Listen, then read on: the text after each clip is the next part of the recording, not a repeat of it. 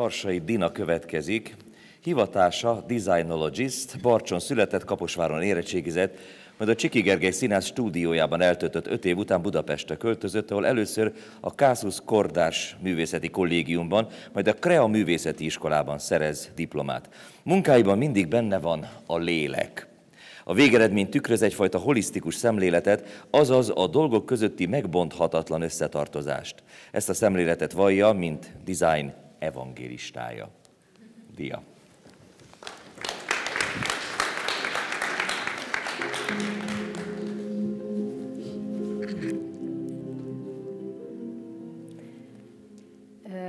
Itt az előző felszólaló, valamelyik, a Szelen Kinga volt a többiek közül, megfogadta, hogy nem fog izgulni. Én meg azt fogadtam meg, hogy nem fogom azzal kezdeni, hogy mennyire hálás vagyok annak, hogy itt lehetek, és végighallgathattam a többieket, és hogy gyakorlatilag nekem annyira megkönnyítették a dolgomat, hogy amiről én most beszélni fogok nektek, az gyakorlatilag nagyon-nagyon sok ponton metszi mindazokat, amiről a többiek beszéltek.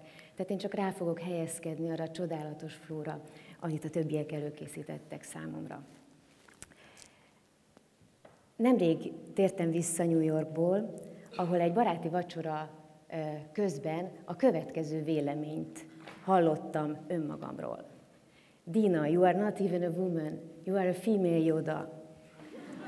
Ami magyarul valamennyi annyit tesz, hogy Dina, te nem is egy nő vagy, hanem egy nőnemű Yoda. Hát nem tudom, mit gondoltok, én szerintem van valami hasonlóság, tényleg, én is érzékelem, de elég sokáig rezonált bennem ez a mondat. És így persze ott jogot kacagtunk, de gondolkodtam, hogy miért ez a Badi Miért mond nekem ilyeneket, hogy én egy filmélyoda vagyok? És biztos mindenki a Star Wars-ba otthon van, tehát nem fogok filmtörténeti összest itt három percben elmondani, de az biztos, hogy Joda az egy nagyon furcsa entitás, aki egy rendíthetetlen belső erővel és hittel van jelen végig az összes Star Wars részei alatt, és ezt az erejét használni is tudja.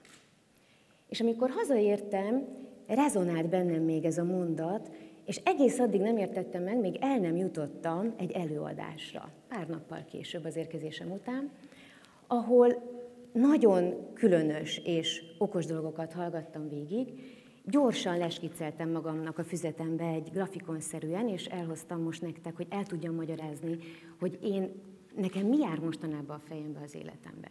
Azt hallottam ezen az előadáson, hogy az emberi élet útnak két nagy szakasza van. Az első szakasz, ami az élet középig ér el, ami egy horizontális tengely mentén képzelhető el, az a szerző szakasz.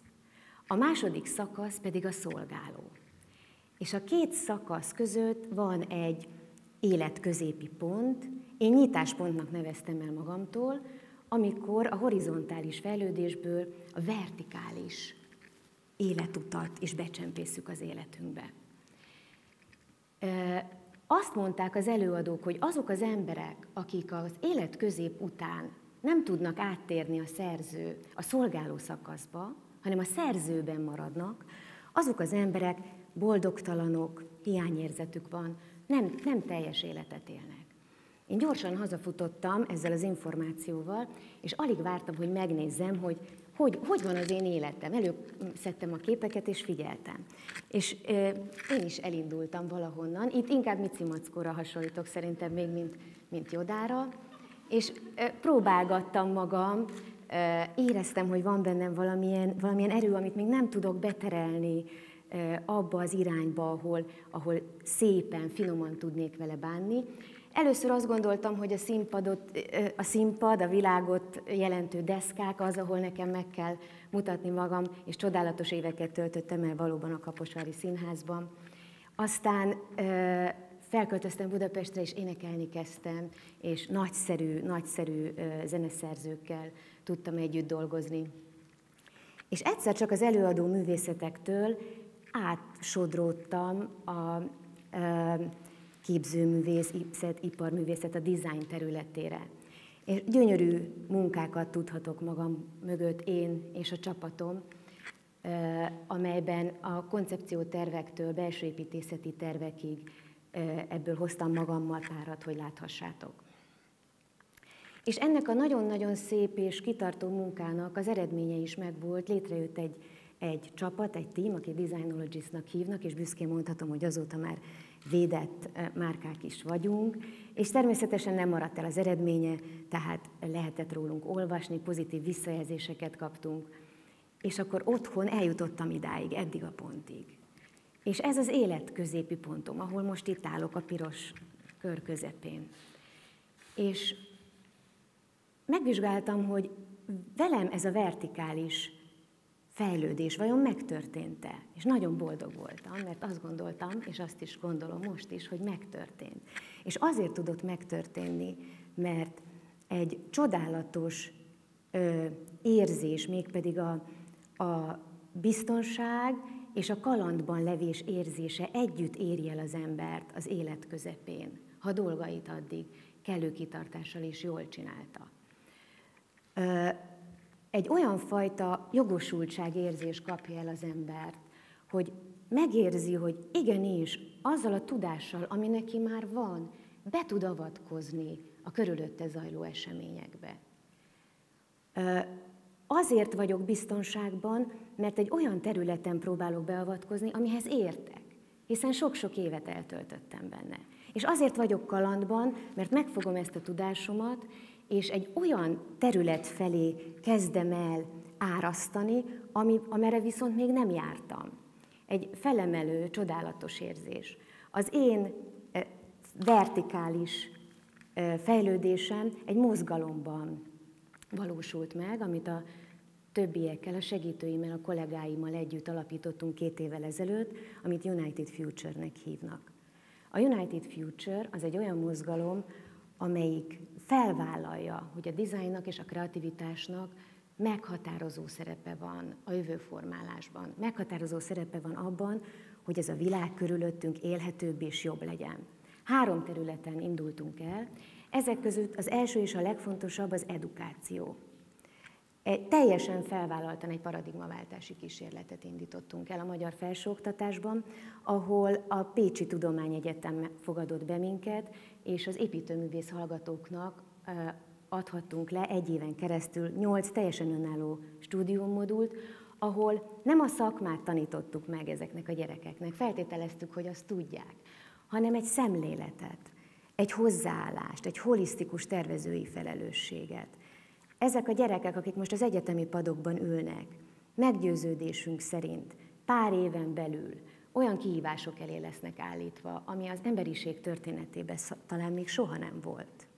Azt szeretnénk, hogy ezek a gyerekek olyan belső hittel és energiájával eresszék be magukat ezekbe a nem várt helyzetekbe, amiből a közvetlen környezetük hosszú távon is jobbá válhat. Tehát csodás élmény volt a pécsiekkel eltöltött egy év, amelynek a végén e, egy gyönyörű e, projekttel e, zárult a közös munkánk, és hulladékból kellett a diákoknak egy műalkotást létrehozniuk. Nagyon büszkén és boldogan mondom most nektek, hogy Budapest falait is betörtük, és idén ősztől egy budapesti felsőoktatási intézménybe mennek tovább a stúdiumaink. A második platform, amin a United Future működik, az egy újfajta üzleti együttműködési modell megvalósítása.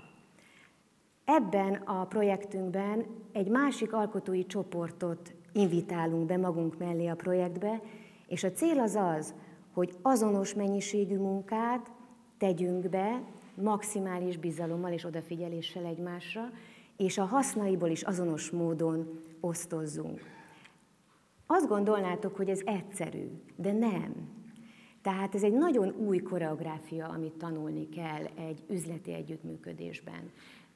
Nagyon sok tapasztalatunk volt ebben, megszületett a United Future spot kiállításunk, amit itt láthattok. Ez 12 használt földmérő állványon hatalmas világító palástok, amin az újrahasznosítás, a recycling és az upcycling témáját dolgozzuk fel, és a szigeten láthatátok, vagy a konstrumán nagyon sok helyen próbálunk vele megjelenni, és hatást gyakorolni a közvetlen környezetre. A harmadik projektünk az a társadalmi felelősségvállalás témájában indult el szintén ebben az évben. Egy ikonikus bútordarab, egy Libanonban készült szófa utazik a városban, és 30 naponta váltja a helyszíneit.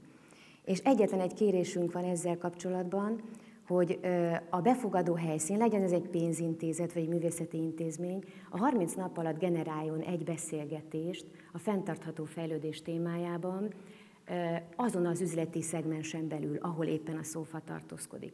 Azért éppen ez a bútordarab utazik, mert ez a szófa védett műhelyekben készült. Olyan emberek készítik, akik valami miatt a társadalom perifériájára vannak szorulva, vagy egészen egyszerűen azért, mert nők, ez a szófa Libanonból származik, vagy azért, mert már idősek, vagy valamilyen nehezítettségük van, és egy része a felhasznált alapanyagoknak újrahasznosított, azon kívül az eladásból származó bevételek vissza áramlanak az ország, Libanon olyan társadalmi területeire, amelyek gondoskodásra szorulnak.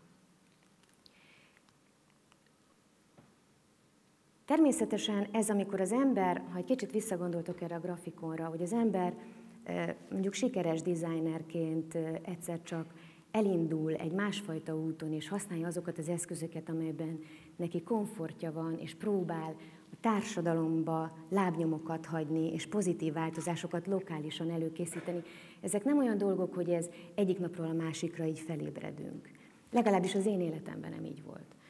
Ez egy nagyon hosszú belső munka következménye. Ez egy olyan belső munka, amit az ember nem feltétlen oszt meg, de azt tudni kell, hogy ezeknek a belső önmagunkon való dolgozásoknak az eredménye külsőleg mindig manifestálódik valamiben. Olyan nincs, hogy nem. Bátornak kell lenni ezt megmutatni, hogy miben manifestálódik. És azért van itt ez a kép mögöttem, mert az én belső munkámnak egy nagyon fontos állomása volt most, másfél hónappal ezelőtt. Az alexandriai Szent Katalin templomban érkezett meg a talking chairünk, ezt a képet tovább küldöm most, és ott zajlott le a templomban egy beszélgetés a Design Hit ideje alatt a spiritualitás és a kreativitás viszonyáról.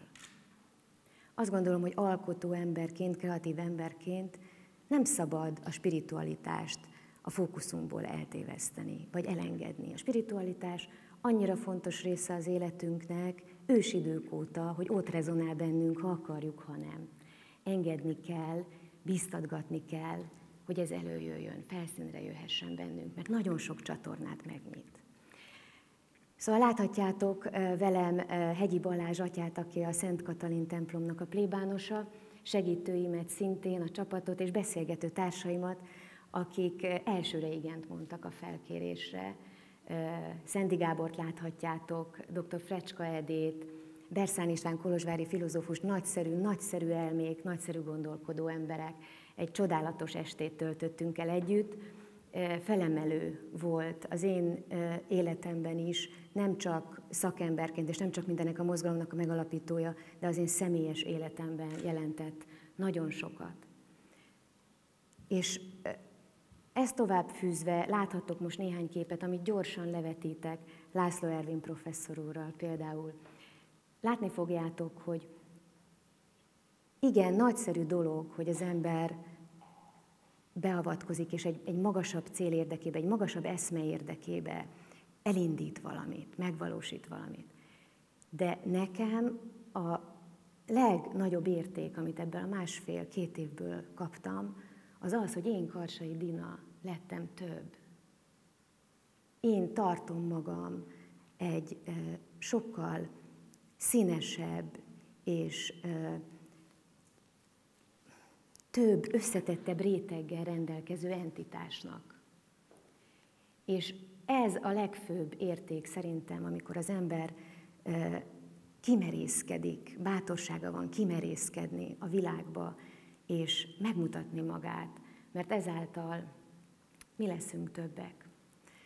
Tehát az én személyes üzenetem itt most nektek az, hogy keressétek meg, mi az, ami belülről melegen tart. Szerezzetek ehhez tudást és segítőket, és tegyétek az ügyetekké. Ez az én evangéliumom, és örülök, hogy átadhattam nektek.